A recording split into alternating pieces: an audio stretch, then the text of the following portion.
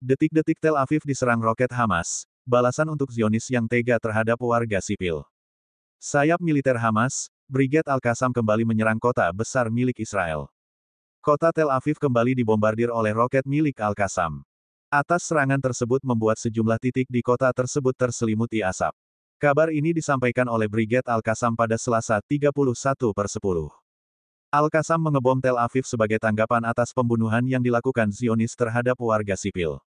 Selain itu, sayap militer Hamas itu juga mengonfirmasi bahwa mereka telah mengebom seluruh wilayah Gus dan dalam video terlihat bahwa langit Tel Aviv dikepung asap di beberapa titik. Sementara itu, Israel sempat melaporkan sirene sempat berbunyi di Tel Aviv dan Petah Tikvah.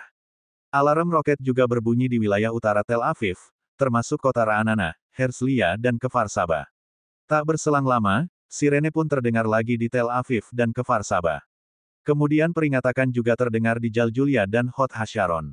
Israel juga mengklaim pengeboman di daerah yang sama beberapa menit sebelumnya dilakukan oleh Hamas.